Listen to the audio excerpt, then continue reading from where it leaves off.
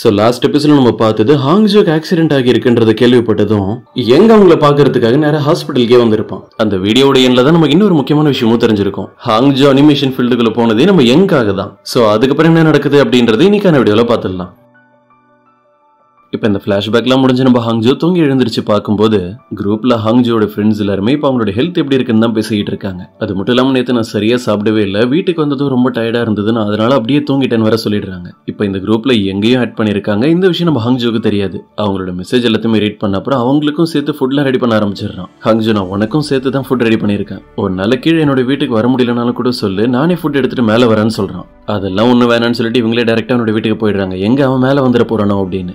ஹாங்ஜுக்கு எப்படிப்பட்ட ஃபுட் பிடிக்கும்ன்றதெல்லாம் லீ கிட்ட கேட்டு தெரிஞ்சுக்கிட்டு அதுக்கேற்ற மாதிரி ரெடி பண்ணி வச்சிருக்கான். சாப்பிட்டு முடிச்சதுக்கப்புறம் அவங்களுக்கு பிடிச்ச மாதிரி ஸ்வீட்டு அது இதுன்னு எல்லாத்தையுமே ரெடி பண்ணி தரான். சாப்பிட்டு முடிச்சுட்டு இவனுக்கு தேங்க்ஸ் சொல்லிட்டு அவங்க இங்கேருந்து போகும்போது இவன் எழுந்து சீரியஸாக ஏதாவது பேசுவான்னு பார்த்து அவனுடைய பிஸ்னஸ் கார்டை எடுத்து அவங்ககிட்ட தந்துட்டு உனக்கு ஞாபகம் இருக்கா? ஸ்கூல் டைம்ல நீங்கிட்ட ஒரு விஷயம் சொல்லியிருந்தேன் நீ இந்த மாதிரி ஒரு பெரிய ப்ராஜெக்ட்ல ஒர்க் பண்ணா எனக்கு உன்னுடைய சம்பளத்துல இருந்து அஞ்சு பர்சன்டேஜ் தரதா சொன்னேன்ல? அப்படின்னு அதை பத்தியே பேசிட்டு இருக்கான். பதிலுக்கு நம்ம ஹாங்ஜுவும் உனக்கு என்ன இது ரொம்ப ஈஸியான விஷயமா தெரியுதா? என்னோட லைஃப்ல நான் இந்த இடத்த ரீச் பண்றதுக்கு எவ்வளவு கஷ்டப்பட்டிருக்கேன் தெரியுமா? அது ஏதோ ஸ்கூல் படிக்கும்போது நம்ம ரெண்டு பேரும் பள்ளத்தில் விழுந்ததுக்கப்புறம் என்ன பேசுறதுன்னு தெரியாமல் நான் ஏதாவது உளறிட்டு இருந்திருப்பேன். இப்போ இப்படி அவங்க பேசிக்கிட்டு இருக்கிறதெல்லாம் யோசிச்சு பார்த்தா இவங்களுக்கே ரொம்ப காமெடியாக இருக்குது அப்படியே அவங்க ரெண்டு பேரும் பேசிக்கிட்டே வெளியே நடந்து போகும்போது பார்த்தா ஆப்போசிட்டில் கரெக்டாக ஜே வந்துடுறான். ஹங்ஜோ உனக்கு ஏதோ ஒரு ஆக்சிடென்ட் ஆகி நீ வீட்டில் இருக்கிறத கேள்விப்பட்டு தான் நான் உன்னை தேடி வந்தேன். ஆனால் இங்கே நீ இவன் கூட நின்று பேசிக்கிட்டு இருக்க. என்னோட ப்ராஜெக்ட்டில் நீ ஒர்க் பண்ணணும்னு ஆசைப்படுறதுன்னு சொல்லி உங்களை மிரட்டுற மாதிரி பேசிக்கிட்டு இருக்கான். இவன் இப்படி சொன்னா ஹாங்ஜோ பயந்துருவாங்கன்னு இவன் நினச்சிட்டான் போல இருக்கு. ஆனால் அங்கே அப்படி எதுவும் நடக்கல. அவங்க நேராக ஜே கிட்ட வந்து உங்களுக்கு பிடிக்கலன்னா உங்களுடைய ப்ராஜெக்ட்லேருந்து என்ன தூக்கிடுங்க. நான் இப்போ முன்னாடி இருந்த மாதிரி இல்லை ரொம்ப மாறிட்டேன்னு சொல்லிட்டு அங்கேருந்து நடந்து போறாங்க. டக்குன்னு அவனும் கையை பிடிச்சிடுறான்.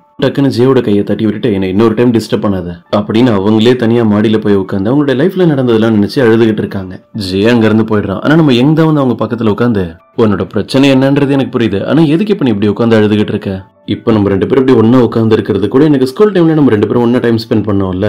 அப்படிதான் இருக்கு. தேவையில்லாம அதெல்லாம் எனக்கு ஞாபகப்படுத்தாதுன்னு ஹங்ஜு சொல்றாங்க. டக்குனு இவன் என்ன நினைச்சான்னு தெரியல. ஹங்ஜோ கிஸ் பண்ணிட்டு சரி நீ சீக்கிரம் ரிகவர் ஆகிடு. ஃபிராக்சர் ஆகியிருக்க உன்னுடைய கால்ல இருந்தும் சரி. இதுக்கு முன்னாடி உன்னோட லைஃப்ல நடந்த அந்த ஹார்ட் பிரேக்ல இருந்தும் சரி. இப்போ நமக்கு ஒரு சின்ன பிளாஷ்பேக் காட்டுறாங்க. ரெண்டு பேருமே ரொம்ப நேரமா அந்த பள்ளத்திலே உட்காந்துட்டு இருந்திருப்பாங்கல்ல. அப்ப நம்ம எங்குக்கு செம தூக்கம் வந்து ஹங்ஜோட ஷோல்டர்லயே சாஞ்சு தூங்க ஆரம்பிச்சிருப்பான். அவங்களுக்கு அந்த மூமெண்ட்லாம் ரொம்ப பிடிச்சிருந்திருக்கு. ஸ்கூல் படிக்கும்போது மட்டும் நம்ம என்கிட்ட ஒரு மாதிரி அவனை கோவமா திட்டுற மாதிரிலாம் பேசிட்டு இருந்திருப்பாங்க. உண்மையான அவங்க அப்படி இல்ல. இப்ப இதுக்கப்புறம் நடந்த ஒரு விஷயத்த நம்ம எங்க யோசிச்சு பாக்குற மாதிரி காட்டுறாங்க. ரெண்டு பேருமே ஒரு பஸ் ஸ்டாப்ல எதிர் எதிரில் உட்காந்துருக்காங்க ஹாங்ஜோ பார்த்தது உனக்கு ரொம்ப சந்தோஷமா இருக்கு. அவங்களுக்கு ஏதோ தரத்துக்காக எடுத்துட்டு வந்திருக்கான். அவனோட அம்மா கிட்ட இருந்து கால் வருதுன்னு சொல்லி அவன் அட்டன் பண்ணி பேசினா அவங்க வேற ஒரு ஷாக்கிங்கான நியூஸை சொல்றாங்க. நம்ம சீக்கிரமே யூஎஸ்க்கு போயிடுவோம். இதுக்கப்புறம் நம்ம கொரியால இருப்போமான்னு தெரியல அப்படின்னு. உன்னோட ஸ்கூல் ஸ்டடிஸ் எல்லாத்தையுமே நீ அங்க போய் அங்கேயே கண்டினியூ பண்ற மாதிரி தான் இருக்கும். நீ சீக்கிரம் வீட்டுக்கு வா. இதை பத்தி நம்ம இன்னும் டீட்டெயிலா பேசலாம்னு சொல்றாங்க. போன் பேசி முடிச்சிட்டு இவனே சோகத்துல உட்கார்ந்து இருக்கும் போது தூரத்துல இருந்து ஹாங்ஜி வரவனை பாத்துடுறாங்க கையில ஒரு பேப்பர் வச்சிருக்காங்க. இவனை பார்த்த சந்தோஷத்துல அது வேற வேகமா எடுத்துட்டு ஓடி வராங்க. அவங்க ரோட கிராஸ் பண்ணி வர்றதுக்குள்ள இவனுடைய பஸ் வந்துருச்சுன்னு சொல்லிட்டு இவனு இங்க இருந்து கிளம்பிடுறான். இப்ப இந்த பிளாஷ்பேக்லாம் முடிஞ்சு பிரசன்ல தான் காட்டுறாங்க ஹாங்ஜி ஒரு சின்சியரா கிஸ் பண்ணிட்டு இருந்திருப்பாருல அப்பதான். கரெக்டாக உங்களுக்கு யாரோ கால் பண்ணுறாங்களா இவங்களும் வேகமாக நம்ம எங்கே பிடிச்சி தள்ளி விட்டுறாங்க? எங் நீ இதுக்கப்புறம் இந்த மாதிரிலாம் ஏதாவது பண்ண நான் பார்த்துட்டு கண்டிப்பாக அமைதியாக இருக்க மாட்டேன்னு சொல்கிறாங்க இங்கே பாரு நான் ஒன்றும் சும்மா டைம் பாஸ்க்காகலாம் அப்படி பண்ணல. நான் உங்ககிட்ட உண்மையை சொல்கிறேன் ஸ்கூல் படிக்கும் போதும் சரி இப்பயும் சரி. எனக்கு ஒன்று ரொம்ப பிடிச்சிருக்கு. நான் உன்னை ஒன் சைடாக லோ பண்ணிட்டு இருக்கேன்னு நினைக்கிறேன். நான் இப்போ இப்படி வந்து பேசுறது உனக்கு ஷாக்கிங்காக தான் இருக்கும் எனக்கு தெரியும். ஆனால் நீ நல்லா யோசிச்சுட்டு அதுக்கப்புறம் என்னுடைய முடிவு என்னன்றதை சொல்லு. அப்படின்னு அவங்கள ஃபுல்லாக கன்ஃபியூஸ் பண்ணிட்டு அவன் பாட்டுக்கு அசல்ட்டா அங்கேருந்து எழுந்து போயிடுறான். இன்னொரு பக்கம் அந்த யூஜியை தான் காட்டுறாங்க. அவங்க ஃபோன் பார்த்துக்கிட்டு இப்படி நடந்து போயிட்டு இருக்கும்போது ஆப்போசிட்ல அந்த நம் தான் போகிறான் அவன் ஜாகிங் தான் போயிட்டு இருக்கான் இவங்க சிரிக்கிறத பார்த்துட்டு அவன் எதுவுமே கண்டுக்காம அப்படியே போயிடுறான். எதுக்கு வம்பு அப்படின்னு. என்ன இவர் நம்மளை கவனிக்கவே மாட்டாருன்னு சொல்லிட்டு யூஜி அவனை ஃபாலோ பண்ணிட்டு பின்னாடியே போறாங்க. அவன் ஒரு ரூம்ல சேஃபா போய் பதுங்கிட்டான் யூஜி வந்து பார்த்தும் கூட இவன் அங்கதான் இருக்கான்றது கண்டுபிடிக்க முடியல. இப்போ அவன் எதுக்காக இப்படி எல்லாம் பண்ணிட்டு இருக்கானா யூஜி அவங்ககிட்ட சொல்லியிருப்பாங்கல்ல நான் அவனை டேட்லாம் பண்ணல சும்மா நடிச்சேன் அப்படின்னு. அந்த கடுப்புல தான். இப்போ அப்படியே கட் பண்ண நமக்கு ரெஸ்டாரண்ட்ல இருக்க லீயே தான் காட்டுறாங்க. அவன் பாட்டுக்கு நிம்மதியா வெங்காயத்தை எடுத்து கட் பண்ணிட்டு இருக்கும்போது நடக்க முடியலனாலும் கஷ்டப்பட்டு அந்த இடத்துக்கு நம்ம ஹாங்ஜி வந்திருக்காங்க அவனை தொல்லை பண்றதுக்கு. எனக்கு வீட்டுல தனியா இருந்து ரொம்ப போர் அடிக்குது. அதான் அவனுக்கு ஹெல்ப் பண்ணலாம் நான் இங்க வந்திருக்கேன். ஹங்ஜு நீ ஹெல்ப் பண்ண போறியா? எனக்கு அதெல்லாம் ஒன்றும் வேணாம்னு அவன் சொல்றான். ஆனா அவங்க கேட்குற மாதிரி இல்லை. அடம் பிடிச்சி அவங்ககிட்ட இருந்த இருந்து எக்யூப்மெண்ட்ஸ் எல்லாம் வாங்கிட்டு அவங்களும் உட்காந்து வெங்காயம் கட் பண்ணிட்டு இருக்காங்க. நம்ம ஹங்ஜோ அதை சரியா கூட கட் பண்ண மாட்டாங்க ஏதோ ஒன்று யோசிச்சுட்டு அதை பாதி பாதி காலி பண்ணிட்டாங்க. ஹங்ஜோ இதுக்கு தானே அவனை ஹெல்ப் பண்ண வேணாம்னு சொன்னேன். ஒரு வெங்காயத்தை கூட உனக்கு சரியா கட் பண்ண தெரியாதா? லீ அது ஒன்றும் இல்லை நான் உங்ககிட்ட ஒன்று கேட்கணும்னு நினைச்சேன். அதை பற்றி தான் யோசிச்சுட்டு இருந்தேன். நீ உன்னோட லைஃப்ல யாரையாவது லவ் பண்ணியிருக்கேன் அந்த விஷயத்தை பற்றி உனக்கு எதாவது தெரியுமான்னு கேட்குறாங்க நான் எங்கே லவ் பண்ணேன்? ஸ்கூல் படிக்கும் போது கூட உங்ககிட்ட எத்தனையோ டைம் ஹெல்ப் பண்ண சொல்லி கேட்டிருந்தேன். ஆனா நீ உன்னோட ஃப்ரெண்ட்ஸ் நம்பரை கூட எனக்கு ஷேர் பண்ணவே இல்லை. இப்பதான் உனக்கு விஷயம் தெரியுது. ஆமாம் இப்போ எதுக்கு நீ இதை பத்தி எல்லாம் பேசிக்கிட்டு இருக்க? இப்போ உனக்கு யாரையாவது பிடிச்சிருக்கா? நீ யாரையாவது லவ் பண்ணுறியான்னு கேட்குறான் அதெல்லாம் ஒன்றும் இல்லை. நீ இப்போ இன்னும் எக்ஸ்ட்ரா வெங்காயம் இருந்தால் சீக்கிரம் எடுத்துட்டு வா. அப்படின்னு அவனை வேலை வாங்கி இந்த டாப்பிக்கை சேஞ்ச் பண்ணி விட்டுறாங்க. இன்னொரு பக்கம் நமக்கு எங்கோட அங்கிள் தான் காட்டுறாங்க.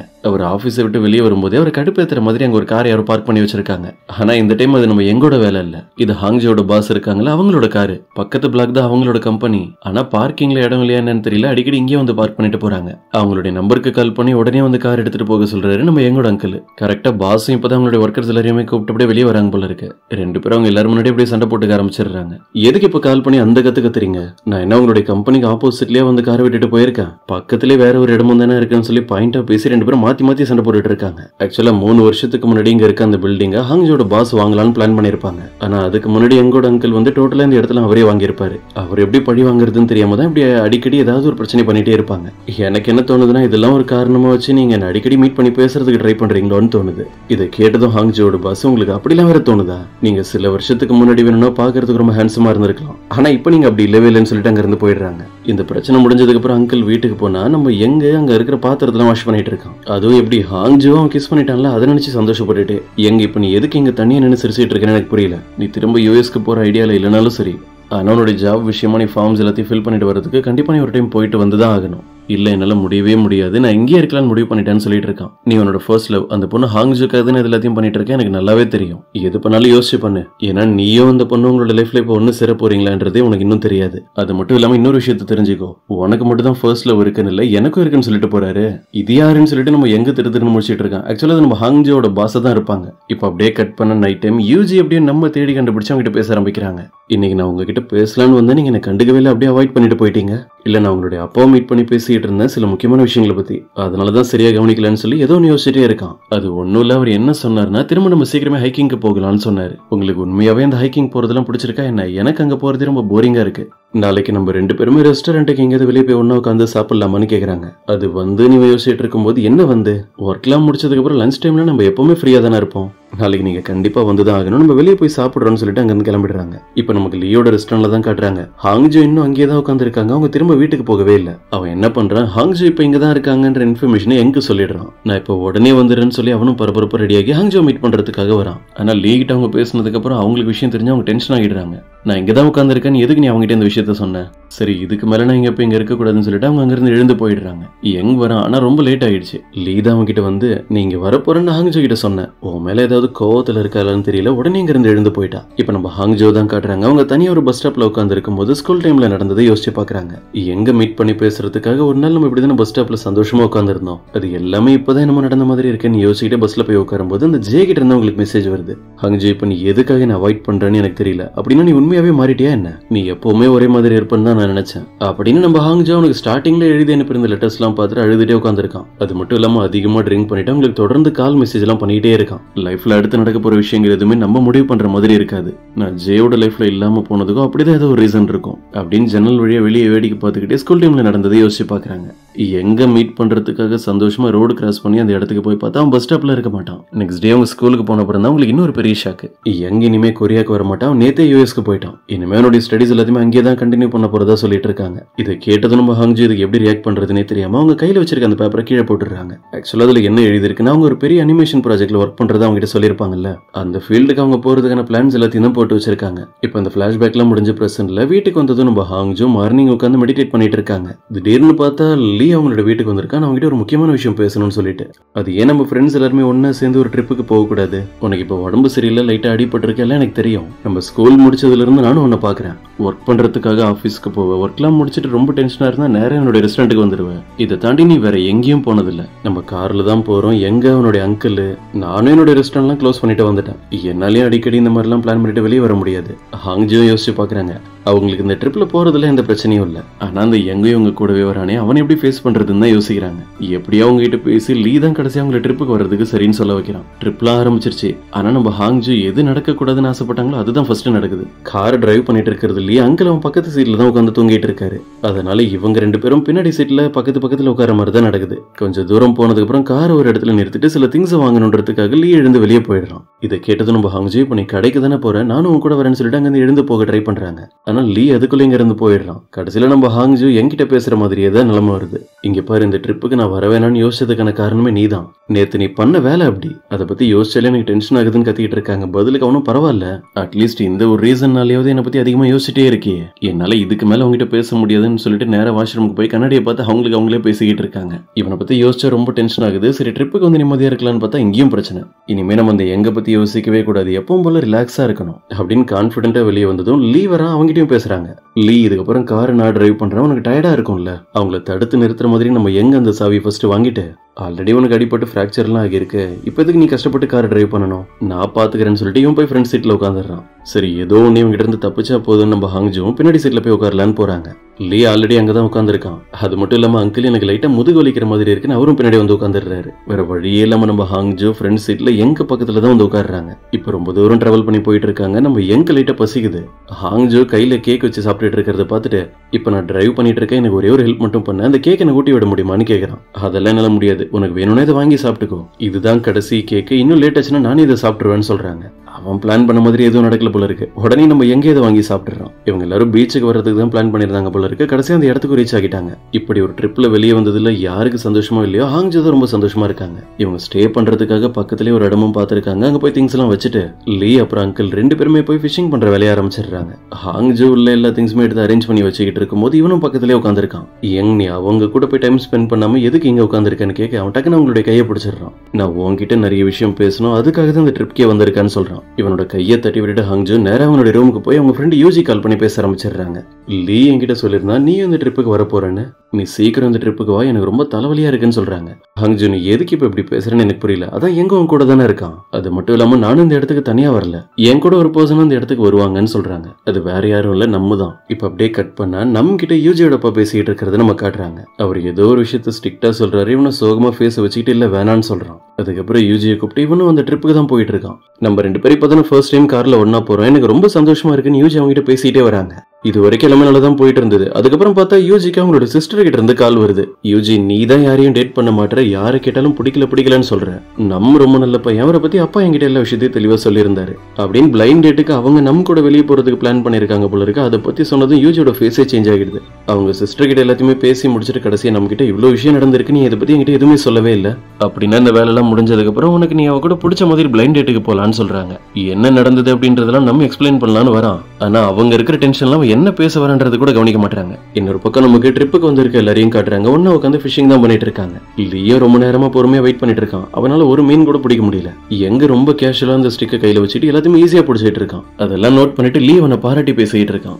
எங்க நீ உண்மையாவே ரொம்ப டேலண்டான பர்சன் தான். உனக்கு நிறைய விஷயம் தெரிஞ்சிருக்கே அப்படின்னு. அது எனக்கு தெரியல. ஆனா என்னோட லைஃப்ல நான் நிறைய விஷயம் கத்துக்கணும்னு ட்ரை பண்ணியிருக்கேன்.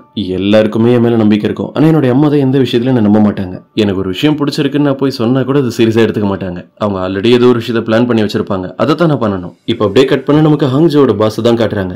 ஜேவோட மேனேஜரை உங்களை ஆஃபீஸ்ல வந்து மீட் பண்ணி பேசிக்கிட்டு இருக்கான். ஹாங்ஜோ பிரஞ்சு இவங்க ரெண்டு பேருக்கு நடுவில் நிறைய ப்ராப்ளம் போயிட்டு இருக்கு. அவங்க ரெண்டு பேரும் ஒன்றா சேர்ந்து இந்த ப்ராஜெக்ட்டில் ஒர்க் பண்றதுலாம் ரொம்ப கஷ்டமான விஷயம். இவன் ஜேவோட வீட்டுக்கு போய் பார்க்கும்போது அவன் அடிக்கடி ட்ரிங்க் பண்ண ஆரம்பிச்சிட்டான்றது எனக்கு தெரிஞ்சிருச்சு. திரும்ப இவனோட லைஃப்ல ஹாங்ஜோ வந்து இவன் மீட் பண்ணதுக்கு அப்புறம் தான் இவ்வளவு பிரச்சனையும். ஹாங்ஜோ இந்த ப்ராஜெக்ட்ல இருந்து தூக்கிட்டு வேற ஏதாவது பர்சன் ஆட் பண்ணிடுங்கன்னு சொல்றான்.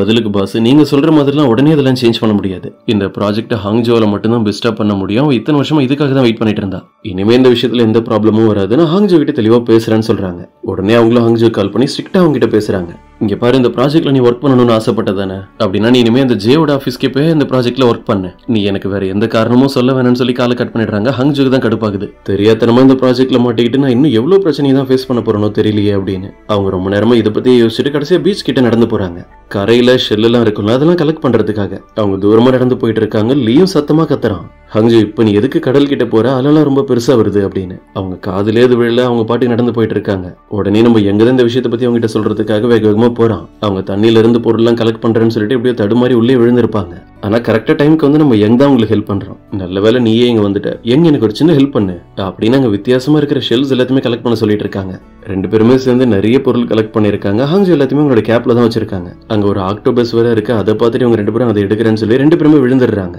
அப்படியே அவங்க ஃபேஸ் டு ஃபேஸ் பார்த்துக்கிட்டு இருக்கும்போது நம்ம ஹாங்ஜோ பயந்து போய் என்ன பண்றாங்க?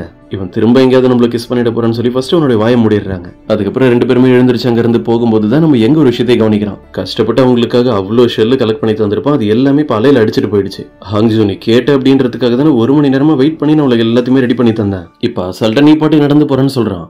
அவங்க எல்லாத்தையுமே காதில் வாங்கிட்டு எதுவுமே கேட்காத மாதிரி தான் நடந்து போயிட்டு இருக்காங்க இப்ப எல்லாரும் திரும்ப அவங்க தங்கி இருக்கிற அந்த இடத்துக்கு வந்துடுறாங்க. இந்த ட்ரிப்ல புதுசா ஜாயின் பண்றதுக்காக யூஜி அப்புறம் நம்ம ரெண்டு பேருமே வந்திருக்காங்க. ஆனா யூஜி அங்க டேபிள்ல இருக்கிற பொருளை போட்டு அந்த தட்டு தட்டிட்டு இருக்கிறத பார்த்தாலே நமக்கு நல்லா தெரியுது. அவங்க எவ்வளவு கோவத்துல இருக்காங்கன்னு. ஹாங்ஜோ அவங்களை சமாதானப்படுத்துறதுக்காக தனியா வெளியே கூப்பிட்டு போறாங்க. லீ அங்க எல்லாரும் முன்னாடியே சொல்லிட்டு இருக்கான். சின்ன விஷயத்துக்குலாம் யூஜி கண்டிப்பா கோவப்படவே மாட்டான் அவளுக்கு ரொம்ப பிடிச்ச பர்சன் திடீர்னு ஏதாவது பண்ணியிருந்தா மட்டும்தான் கோவப்படுவான் இதை கேட்டதும் நம்ம திரு திருன்னு முடிச்சுக்கிட்டு இருக்கான். யூஜிக்கு அவனை பிடிக்குமா பிடிக்காதனே தெரியாம. அங்க வெளியே உட்காந்து பேசும்போது ஹாங் ஜோ கிட்ட யூஜி அங்க நடந்தது எல்லாத்தையுமே சொல்றாங்க. எனக்கு நம்ம ரீசெண்டா தான் பிடிக்க ஆரம்பிச்சது. ஆனா என்னுடைய அப்பா அவனை கம்பல் பண்றாருன்னு சொல்லி என் சிஸ்டர் கூட பிளைண்ட் டேட்டுக்கு போறதுக்கு சரின்னு சொல்லியிருக்கான். அவனுக்கும் என்ன பிடிக்கும்னு தெரியும். ஆனா இதை பத்தி கார்ல வரும்போது நான் அவன்கிட்ட கேட்டேன். அவன் எதுவுமே என்கிட்ட தெளிவா சொல்லல. ஹாங்ஜோ அப்புறம் நான் அவன்கிட்ட ஒரு பொய் சொல்லியிருந்தேன். நானும் நம்ம டேட் பண்ணிட்டுலாம் இல்ல. நீ என் கூட டைம் ஸ்பெண்ட் பண்ணணும் அப்படின்றதுக்காக நான் சும்மா போய் சொன்னேன். நம் வேணும்னே தான் அவனோட ஃபீலிங்ஸை பற்றிலாம் என்கிட்ட சொல்லாமல் இப்படிலாம் பண்ணிட்டு இருக்கான். எல்லாத்தையும் பேசி முடிச்சுட்டு நைட்டு வீட்டுக்கு போகிறாங்க அங்கே ஃபுட்டு உங்களுக்காக ரெடியாக இருக்கு. நம்ம கூட அவங்களுக்கு பிரச்சனை இருந்ததில்ல. அதெல்லாம் மறந்துட்டு ட்ரிப்புக்கு வந்த மாதிரி சந்தோஷமா இருக்க ஆரம்பிக்கிறாங்க. நம்ம ஹாங்ஜோவும் அதே தான் இப்போ கூட அவங்க எங்க பக்கத்தில் தான் உட்காந்து சாப்பிட்டுட்டு இருக்காங்க. இப்போ நமக்கு ஹாங்ஜோ தூங்கிட்டு இருக்கும்போது அவங்களுடைய ட்ரீமில் நடக்கிற விஷயங்களை காட்டுறாங்க. சின்ன வயசுல அவங்களுடைய அம்மா அவங்கள பத்தி எதுவும் கவலைப்படாம அப்படியே தனியாக விட்டுட்டு போற மாதிரி அவங்களும் தரையில் உட்காந்து அழுதுகிட்டு இருக்காங்க. அதே மாதிரி ஏர்போர்ட்ல அவங்களை ஜே கடைசியை விட்டுட்டு போனது. ஒரு நாள் நான் ரொம்ப கஷ்டப்பட்டுட்டேன். இதுக்கப்புறம் என்னோட லைஃப்ல என் ட்ரீம்ல கூட வராதுன்னு சொல்லிட்டு இருக்காங்க. பக்கத்துலயே பார்த்தா நம்ம எங்க வந்து நிக்கிறோம்? அவனோட லக்கேஜஸ் எல்லாம் எடுத்துக்கிட்டு. நானும் யூஎஸ்க்கு போற பிளான்ல தான் இருக்கேன். நான் போக கூடாதுன்னு என்ன தடுக்க மாட்டியா என்ன? நான் இங்க இருந்து போயிட்டதுக்கு அப்புறம் நீ என்ன ரொம்ப மிஸ் பண்ணுவேன்னு அவன் சொல்றான். கட் பண்ண நெக்ஸ்ட் டே மார்னிங் நம்ம ஹாங் தூக்கத்துல இருந்து அப்படியே யோசிக்கிறாங்க. என்ன புதுசா இந்த யங்லாம் என்னோட ட்ரீம்ல வர ஆரம்பிச்சிட்டான்? இதை பற்றிலாம் யோசிச்சுட்டு அவங்க அப்படியே வெளியே வந்து பார்த்தா அவங்க தங்கியிருந்த அந்த இடத்துல யாரையுமே காணும். பார்த்தா மத்தவங்க எல்லாருமே கார்ல திரும்ப அவங்களோட இடத்துக்கு தான் போயிட்டு இருக்காங்க. எங்களோட அம்மா ஏதோ ஒரு முக்கியமான வேலை இருக்குன்னு அங்கிள் கிட்ட சொன்னதும் இன்னைக்கு நம்ம பிளான் பண்ணியிருந்த மாதிரி நம்ம ட்ரிப் முடிஞ்சிருச்சுல்ல? அப்ப நம்ம இப்பவே வீட்டுக்கு போயிடலாம். காரை ஸ்பீடா ஓட்டுங்க. ஹாங்ஜு தான் அங்க தனியா இல்ல. அவங்க கூட தான் எங்க இருக்கான்ல? அவன் ஹாங்ஜு சேஃபா பார்த்து கூப்பிட்டு வந்துருவான்னு சொல்லிட்டு இவங்க இங்க இருந்து கிளம்பிடுறாங்க. கரெக்டா இப்பதான் நம்ம எங்க பிரேக்ஃபாஸ்ட்லாம் வாங்கிட்டு உள்ள வரோம். ஹாங்ஜு வந்து அவங்ககிட்ட பேசின பிறகு உங்களுக்கு விஷயம் தெரியுது. ஏதோ எமர்ஜென்சி போல இருக்கு. அவங்க எல்லாரும் உடனே இங்க இருந்து கிளம்பிட்டாங்க. நீயும் நல்லா தூங்கிட்டு இருந்தா அதனால நான் உன்னை டிஸ்டர்ப் பண்ணல. கொஞ்ச நேரத்துல சாப்பிட்டுட்டு நம்ம ரெண்டு பேரும் இங்க இருந்து கிளம்பிடலாம்னு சொல்றான். அவங்களுக்கு ட்ரீம் வந்ததுல அதை பத்தி எதை நம்ம ஹாங்ஜு யோசிச்சுட்டு இருக்காங்க? எப்படியோ கடைசியில தைரியத்தை வர வச்சுட்டு அவங்களோட ஃபீலிங்ஸ் என்னன்றதை அவங்க சொல்றாங்க. நீ திரும்ப யூஎஸ்க்குலாம் போக வேணாம் நீ இங்கே இரு அப்படின்னு. அதுக்கப்புறம் அவனுக்கு கிஸ் பண்ண ஆரம்பிச்சிடுறாங்க. அதுக்கப்புறம் அவங்ககிட்ட இதெல்லாம் என்னோட லைஃப்ல ரொம்ப வித்தியாசமா இருக்கு. நம்ம ரெண்டு பேரும் ஸ்கூல்ல அந்த அளவுக்கு ஒன்றும் க்ளோஸும் கிடையாது. அப்புறம் என்னுடைய பாஸ்ட்ல நான் அந்த ஜேவை லவ் பண்ணிட்டு இருந்த விஷயம். இதெல்லாம் உடனே என்னால் அக்செப்ட் பண்ண முடியாது. எனக்கு கொஞ்சம் டைம் வேணும்னு சொல்றாங்க. இப்பதான் எங்களுக்கே ரொம்ப சந்தோஷமா இருக்கு. சிரிச்சுக்கிட்டே அவனும் சரி இதுல ஒன்றும் பிரச்சனை இல்லை. உன்னோட ஃபீலிங்ஸ் இத்தனை வருஷத்துக்கு அப்புறமாவது என்கிட்ட சொன்னல அதுவே பெரிய விஷயம். உனக்கு எவ்வளவு டைம் வேணும்னாலும் எடுத்துக்கோன்னு சொல்றான். ரெண்டு பேருமே அதுக்கப்புறம் ரெஸ்டாரண்ட்டுக்கு போய் தனியா ஒன்றா உட்காந்து தான் சாப்பிட்டுட்டு இருக்காங்க. இவங்களை டிஸ்டர்ப் பண்ற மாதிரி தொடர்ந்து கால் வந்துகிட்டே இருக்கு. ஆனால் ரெண்டு பேரும் அதை அட்டன் பண்ற மாதிரியே தெரியல. சோ ஒரு வழியா அவங்களுடைய ட்ரிப்லாம் முடிஞ்சு ரெண்டு பேரும் கடைசியா உங்களோட வீட்டுக்கு ரீச் ஆகும்போது இன்னைக்கு டே ரொம்ப நல்லா இருந்தது. ஆனா நம்ம ரெண்டு பேரும் மட்டும் தனியா போய் டின்னருக்கு வெளியே போகணும். அப்படின்னு ஹாங்ஜோ ஜோக்கிட்டே அவன் க்ளோஸா வந்து பேசிக்கிட்டு இருக்கான் ஆப்போசிட்ல பார்த்தா திடீர்னு அவனோட அங்கிள் வந்து நிக்கிறாரு. நீங்க என்ன பேசிக்கிட்டு இருக்கீங்களோ அதை கண்டினியூ பண்ணுங்க. நான் உங்களை டிஸ்டர்ப் பண்ணுறதுக்காகலாம் வரல.